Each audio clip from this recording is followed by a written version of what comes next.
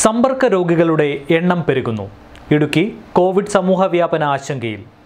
ഇടുക്കി ജില്ലയിൽ സമീപ ദിവസങ്ങളിൽ സമ്പർക്കത്തിലൂടെ രോഗം പകരുന്നവരുടെ എണ്ണം വർദ്ധിക്കുന്നതും ഉറവിടം അറിയാത്ത കേസുകൾ കൂടി വരുന്നതും സമൂഹ വ്യാപനം സംബന്ധിച്ച ആശങ്കയിലേക്കാണ് വിരൽ ചൂണ്ടുന്നത്.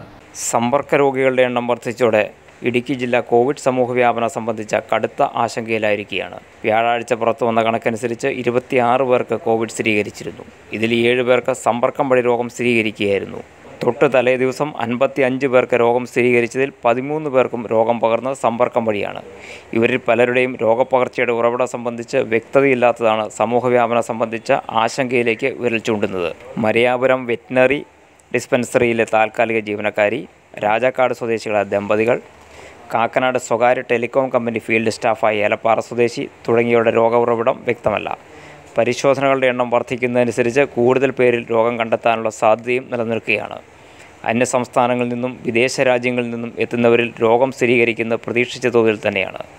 ഇടുക്കിയിലെ അതിർത്തി പ്രദേശങ്ങളിലെ തോട്ടം മേഖലകളിലേക്ക് തമിഴ്നാട്ടിൽ നിന്ന് കടന്നു വരുന്നവർ കൃത്യമായി ക്വാറന്റീനിൽ കഴിയുന്നില്ല എന്ന പരാതിയും ശക്തമാണ്. രോഗബാധ സമൂഹ വ്യാപനത്തിലേക്ക് കടന്നാൽ നിലവിലെ ആരോഗ്യ സംരക്ഷണ സംവിധാനങ്ങൾ അപര്യാപ്തമെന്ന നിലയിലേക്ക് മാറുക തന്നെ ചെയ്യും. കോവിഡ് പത്തൊൻപത് മാനദണ്ഡങ്ങൾ കർശനമായി പാലിക്കുന്നത് മാത്രമാണ് നിലവിലെ സാഹചര്യത്തിൽ സമൂഹ വ്യാപനം തടയുന്നതിനുള്ള ഏക മാർഗം.